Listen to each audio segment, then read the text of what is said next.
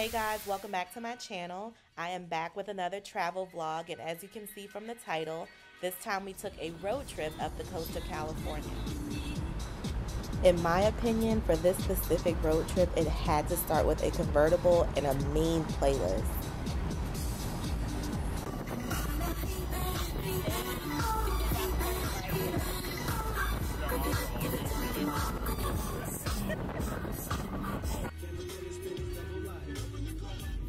Originally, our first stop was Malibu. We had some things to explore there. However, we ended up having to adjust plans, so our first stop was Ventura and Oxnard.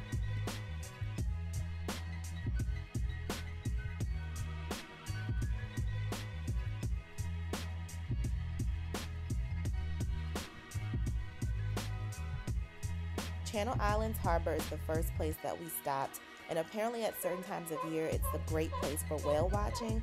We did not stumble upon any whales, however, we did get to see some sea lions. We did not spend as much time here because the main place we were trying to get to was Santa Barbara.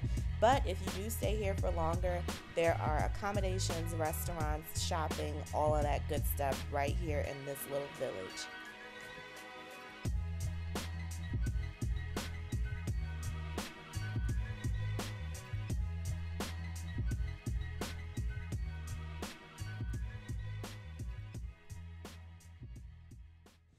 Of all the stops we made, Santa Barbara was absolutely the most beautiful.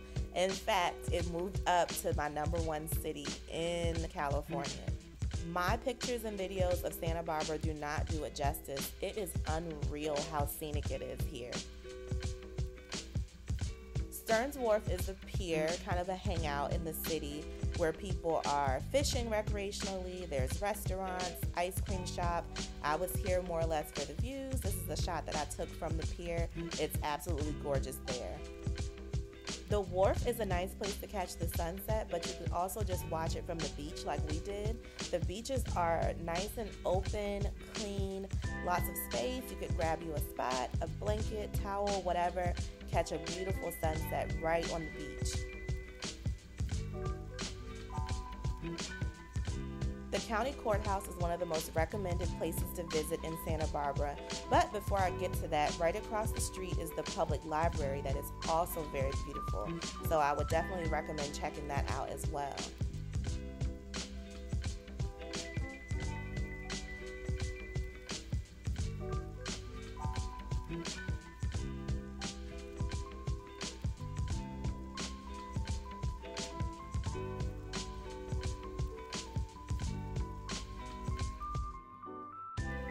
Now, this big, beautiful building here is the county courthouse, and you can go inside. However, I was more there to see the gardens. So, if you pass this fountain and you go right under that underpass, there you'll find this breathtaking garden, and it's a wonderful place to sit and read a book, have a picnic, take some pictures. Just a very beautiful, quiet, serene place to see in Santa Barbara.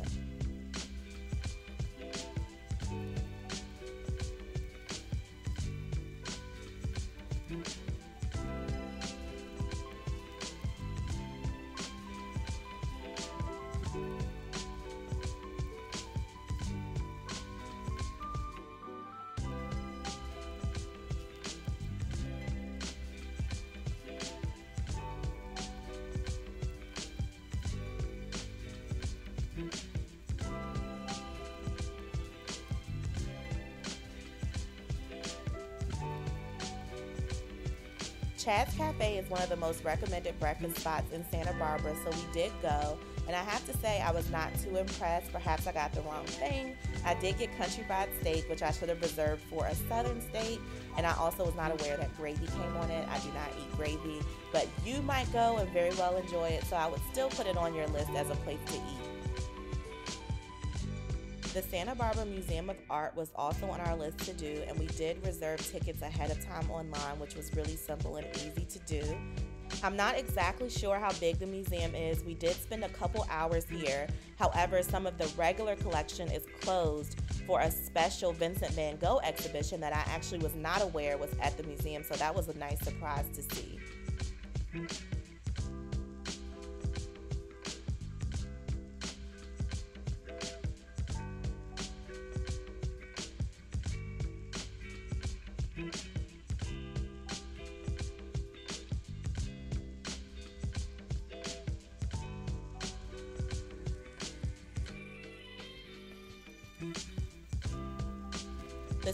Santa Public Market is more or less a food hall. Lots of different cuisines Mexican, sushi, Italian. So you can take your pick. If you are in a group and everybody doesn't want to eat the same thing, this might be an ideal place to stop. Or if you don't want to make reservations to sit at a restaurant, you could pop by here, grab a bite to eat, and then head back into the city to do some more sightseeing and exploring.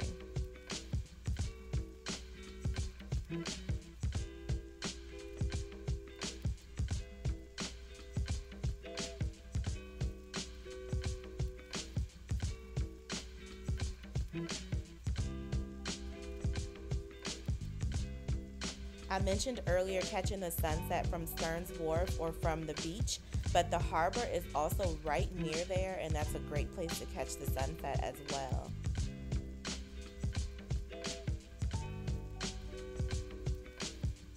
We had dinner one night at the boathouse at Hendry's Beach, which was really good. I'm so sad I did not get a clip of that. But we also ate at this restaurant on Shoreline Drive, which is the main drive.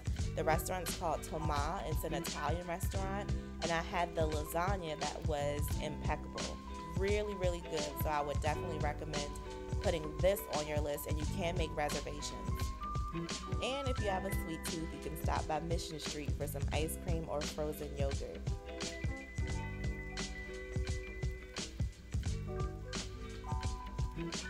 We had a little time to kill before we headed to the zoo one day, and we stumbled upon this park, East Beach Park, which is maybe two minutes from the zoo. It's right there. And like I said, we were just killing time, so we didn't really settle in. But if you wanted to spend a day there, there are picnic tables, volleyball nets, just a really beautiful beach park to hang out at in Santa Barbara.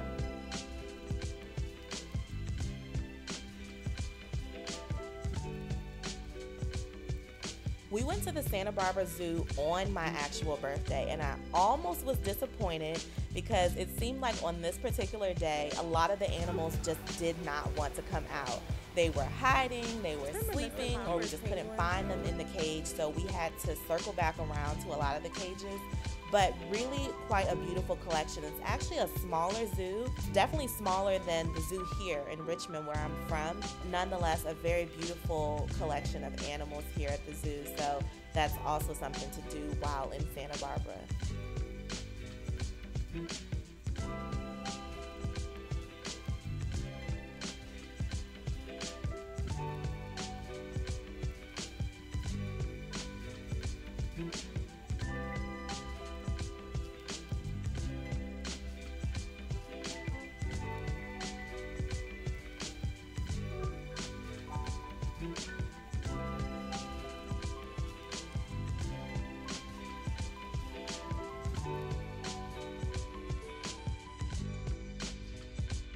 One of the best things about road trips is stopping when you see something worth stopping for. And you can stop as many times as you'd like to explore whatever it is that you see.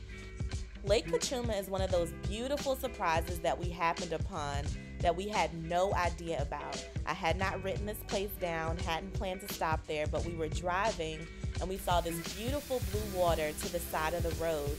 So we pulled over, and you have to drive a bit through a park to get there. But once we got there, we got out, and we were just so in awe of this beautiful sight. Nothing like it. I've never seen anything like this in my life, and it was just amazing to take in.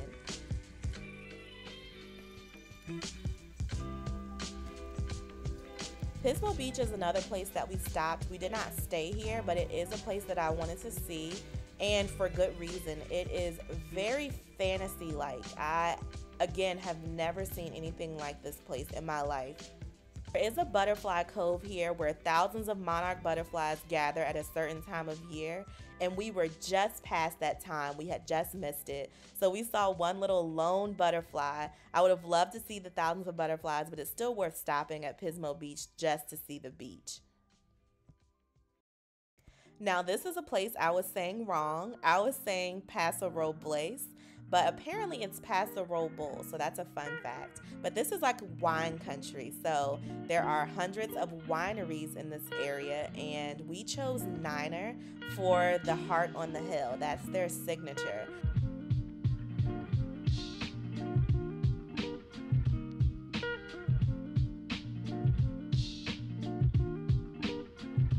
I think maybe the heart up there is like it came up because it was one of the most popular ones because of the heart on the hill. Maybe that's why I picked it.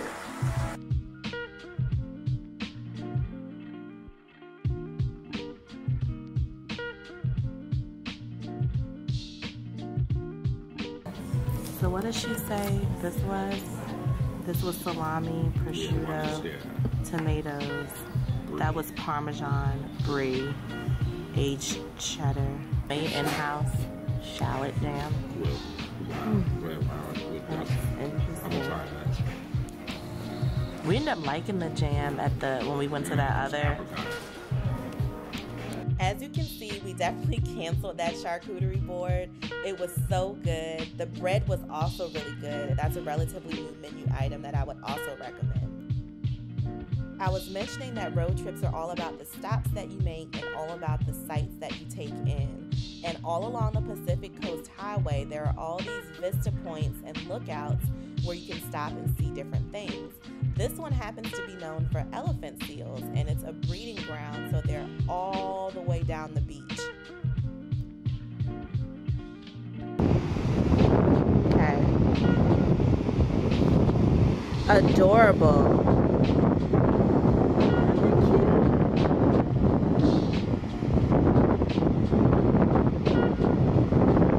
Very lazy, apparently. They'll move like one or two inches and then lay back down.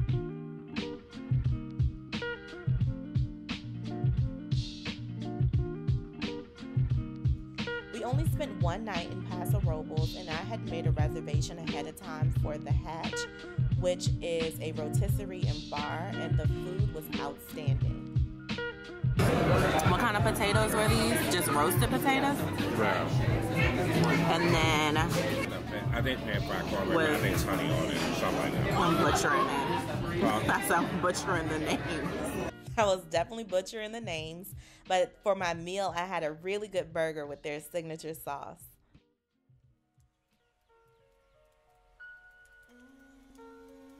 Next up along the highway for us was Big Sur. And Big Sur is one of those places that I truly cannot put into words how beautiful it is. I know I've said beautiful, gorgeous, breathtaking so many times in this vlog because everywhere along the Pacific Coast Highway is just beautiful, but Big Sur especially. So it's one of those places that you just have to see in person.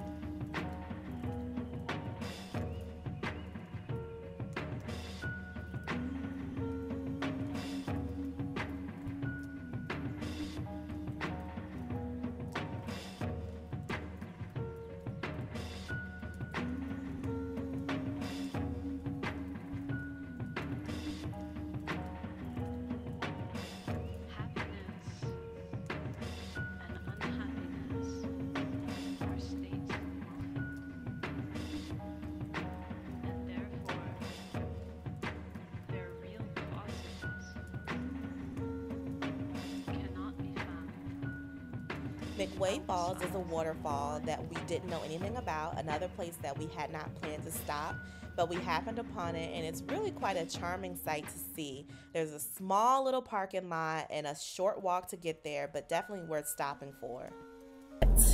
We haven't had service for like three hours on our phones, which is kind of good. I feel like it's good for a road trip because you want to focus on being present and catching what you can catch because that's the other thing about road trips. We've been being surprised by a lot of things. The lake that we saw um, yesterday and there were a couple other places that we hadn't planned to stop that we have gotten to see that have been beautiful. So that's been awesome about this road trip may have heard of Bixby Bridge. That is kind of the big site to stop and see in Big Sur. And it is wonderful to see. So I would definitely recommend making that quick little stop there as well. Our last place that we spent time was Monterey. And Carmel by the Sea is actually a city located in Monterey. I wanted to see the fairy tale cottages, which were a little tricky to navigate because people actually live in these homes and they're not well labeled, they're a little hidden. So you can walk Torres Street and 6th and pretty much see a good amount of them. The Carmel Mission Basilica Museum was another site that we wanted to see, and it was $10 a person. It's a church, but there's also a garden on the inside. It's really quite a beautiful and serene place to see and to be.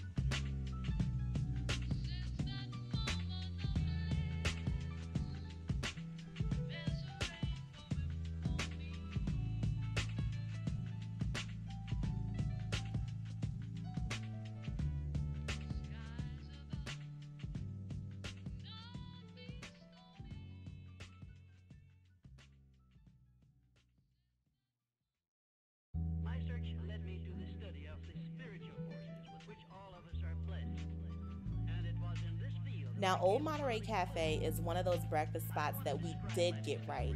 Shout out to all those people that left reviews online. Everyone was recommending the French toast, and I cannot praise this French toast enough. I am one of those people that rarely finishes all of my food when I eat out at restaurants, and I eat every single thing on this plate. I wish I had evidence because I'm telling you the truth, this food was so good. If you are someone that walks or runs or rides bikes, then I would definitely recommend this trail. It is a little windy and cold off the water, but really a beautiful trail. We did one of those things that they tell you not to do as kids, but when you're an adult, you can make an executive decision to have ice cream for lunch. We had ice cream at Revival Ice Cream, and I had the signature Bee's Knees ice cream that has local honey. So good. The very last thing we did on our trip before heading back to LA was 17 Mile Drive. If you are familiar with the show Big Little Lies that came on HBO with Reese Witherspoon, that show was filmed here in Monterey, Pebble Beach area. And understandably so, because I mean, look at it, it's gorgeous. There is a small fee to pay to get in, but once you stop and pay that fee, they do hand you a map that shows that there are 17 stops along the drive, so roughly one stop per mile. And there are lots of different things to see. There is wildlife, you're able to see the way the rocks have formed, the way that trees have formed, lots of things to see. So I would definitely set aside time to make all of those stops. And that is a wrap on this vlog. I hope that you have enjoyed watching this video. I will try to link as much information as possible down below. Don't forget to like, comment, and subscribe, and I will see you in my next video. Bye.